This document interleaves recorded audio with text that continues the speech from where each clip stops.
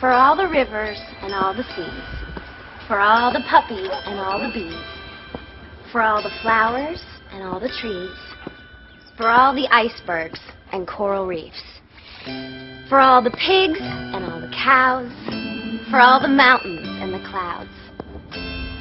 For all the cats who say meow. And all the earthworms in the ground. Those who can't talk and those who can't write. There's a way you can help and try to do right. Speak up for those who can't speak up at all. If only for one Tuesday, late in the fall.